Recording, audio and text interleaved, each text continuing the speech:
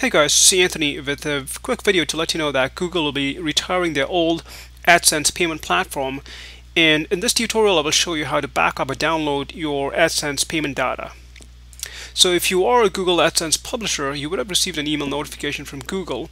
Uh, as per the email notification that I received, uh, the old AdSense payment page will be shut down by June 30th, 2015. So you got to ensure that you back up your earnings and payment data because uh, you may need it for, um, for example, tax purposes in the future. So if you log into your AdSense account, uh, you will see a similar notification through this uh, bell icon notification. And um, if you click on it, uh, it'll display a similar uh, email notification.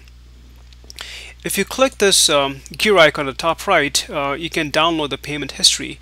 So basically click that gear icon and choose payments and then if you just scroll down to the bottom you will see this little button that says uh, see your previous payments. And if you click on it it's going to display all your previous payments. Uh, you can then use this uh, button that says export to CSV it's basically an Excel file.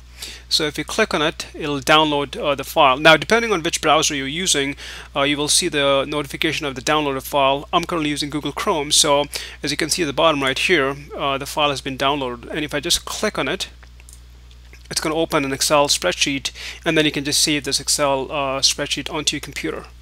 Alright so make sure that uh, you know you back up or download this uh, AdSense uh, payment data before June 30th 2015 uh, because after that you will not have access to it. Alright so that's pretty much it. Uh, you know hope you found this video useful.